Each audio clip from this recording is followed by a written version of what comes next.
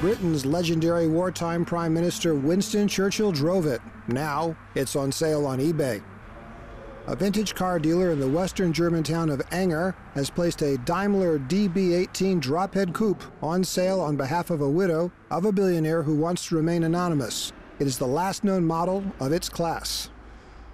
On Sunday at lunchtime, the offer stood at 420,150 euros, but the dealer is certain the bids would rise. The restoration of the vehicle alone has reportedly cost more than 250,000 euros.